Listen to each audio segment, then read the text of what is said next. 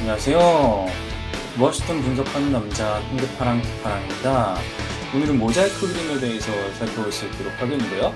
모자이크 그림은 쉽게 말씀드려서 교차표를 시각화하는 그래프다. 그렇게 생각하시면 되겠습니다. 여기서 말하는 교차표라는 건요, 그 두 개의 범주형 변수, 두 개의 범주형 변수에 대한 빈도를 나타내는 테이블이라고 생각하시면 되겠는데요. 예를 들어서 뭐 남성, 여성, 그리고 정규직, 비정규직, 이것에 따라서 각각 빈도를 나타낼 수가 있겠는데, 이런 것들을 시각화하는 기법이 mosaic plot이다. 여러분들은 그렇게 이해하시면 좋을 것 같습니다. 자, 그렇다면 모자이크 그림 어떻게 분석을 수행할 수 있는지 함께 살펴볼게요. 자, 모자이크 그림은 이제 R에서 사용되는 것을 이제 바탕으로 해서 SPSS로 끌어왔을 거라고 생각을 합니다. 자, 모자이크, 자, association plot이라고 나오네요. 자, 이렇게 해서 mosaic plot은 이제 R을 통해서 이제 먼저 어, 시각화가 될 수 있는 이제 그런 패키지가 이제 기반이 되어 있다. 그렇게 생각하시면 될 것 같고요. 자, 이거 영어로 되어 있기는 합니다만 뭐 어렵게 생각하실 거는 없습니다. 저는 이제 Y축과 X축을 각각 설정을 해볼 수 있도록 할 게요. 저는 뭐 여섯 집단으로 구성된 world, world랑 마찬가지로 여섯 집단으로 구성된 role,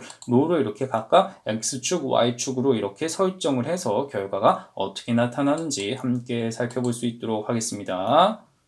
자, 결과를 보시면요. 이런 식으로 이제 mosaic plot, 어떤 이제 뭐 세로축, 여기 이제 world, 이제 가로축은 뭐 role, 이런 식으로 해서 각각 집단, 어떤 범주별로 이렇게 두 범주, 두 범, 범주의 어떤 교차표에 따라서 이런 식으로 뭔가 비중, 비중을 이렇게 살펴볼 수가 있다. 이런 식으로 빈도에 따라서 이런 식으로 결과가 나타날 수 있다라고 하겠는데요. 자, 이렇게 P벨로, P벨로 이제 교차 분석, 카이 제곱 어떤 교차 분석에 따라서 이런 식으로 통계적으로 유의한 차이가 있는가, 이것도 이렇게 한 함께 제시해 줄 수 있다. 보시면 이제 뭐 귀무가설을 기각을 못하니까 뭐 두뭐 뭐 어떤 범주형 변수 간의 뭐 차이는 뭐 없는 것으로 나타난다. 통계적으로 유의한 차이는 없다. 뭐 그런 식으로 생각을 할 수가 있겠는데요. 이런 식으로 mosaic plot을 통해서 교차표를 시각화하면은 한눈에 좀 더 약간 숫자만으로 보기에는 좀 어려울 수가 있으니 이렇게 한눈에 보면서 이렇게 비중이 어느 정도 되는가 이런 상대적 비중을 함께 살펴볼 수 있다는 점에서 굉장히 유용한 그래프다. 그런 것도 여러분들이 잘 익혀두시면 좋겠습니다. 네, 오늘 내용 여기까지 하겠습니다. 감사합니다.